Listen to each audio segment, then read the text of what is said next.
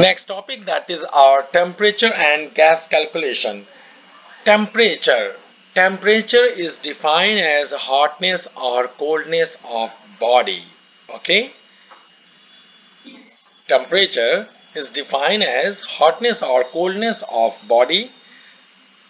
Basically that it's SI unit that is degree centigrade but there are other units also like Kelvin and uh, Fahrenheit okay? Always remember that gas calculation they are uh, giving here. Gas calculation that means if the gas pressure that will increase with temperature okay? Gas pressure that will increase with temperature so 100% that kinetic energy of the particle that will increase or not yeah. And also that beta there is a little bit relationship between pressure temperature and volume in gases. Okay? So basically that temperature scale there are three types of scale by which we are we are able to measure temperature. First one is your celsius scale. That is uh, celsius scale in which one that uh, unit that will be of degree centigrade Second one that is Fahrenheit scale that means temperature would like to be measured in Fahrenheit.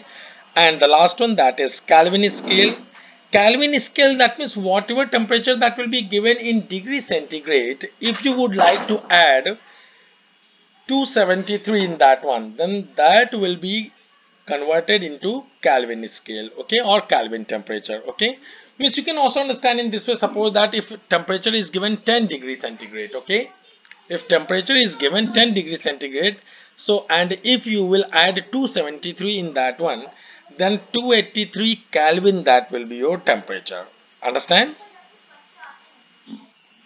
Great.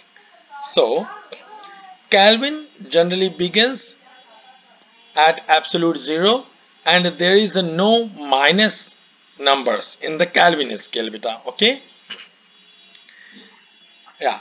Also that here you are seeing that in the picture that temperature that becomes in degree centigrade temperature in degree centigrade that is equals to temperature in Kelvin minus 273 or you can also understand that simply that beta simple understanding is that if any temperature that is given in degree centigrade if you want to convert that into Kelvin just add 273 in that one. You can see that in your next line. Temperature in Kelvin equals to temperature in degree centigrade that is 10 as usual that just we consider plus 273 so 10 plus 273 that is 283 Kelvin. That will be equals to 10 degree centigrade. Okay? Also in your figure you can see that Kelvin scale that would like to be from 0 to 373 up to and uh, degree centigrade that is minus 273 degree centigrade to 100 degree centigrade okay? Yes. yeah.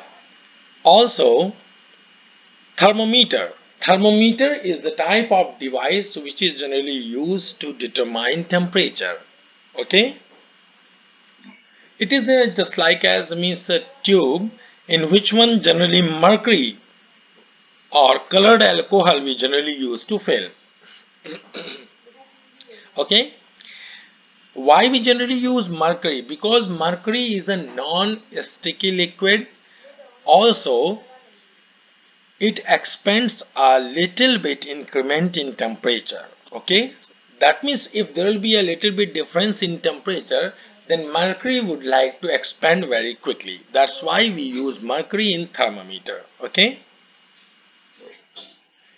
clear? And in that condition as usual you know that mercury is also silver in color okay?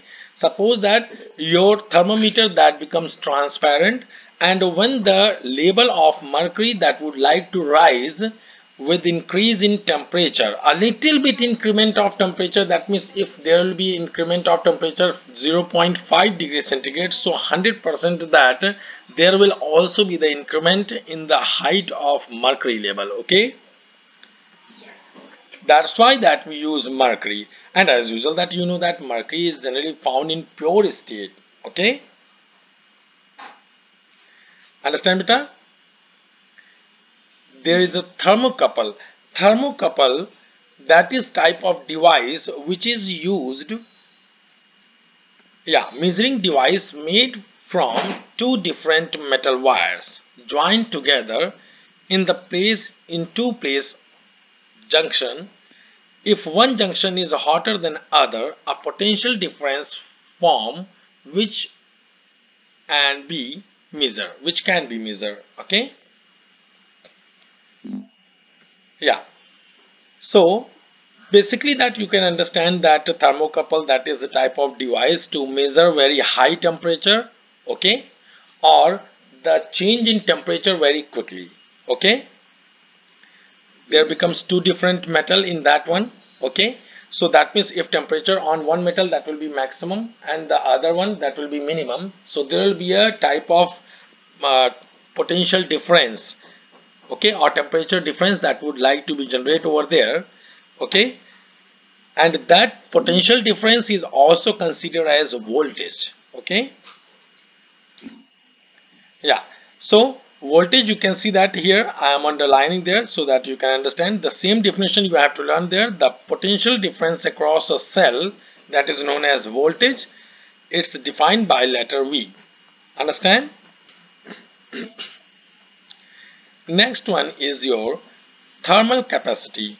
Thermal capacity of an object that is defined as the amount of energy required to change the temperature of that object okay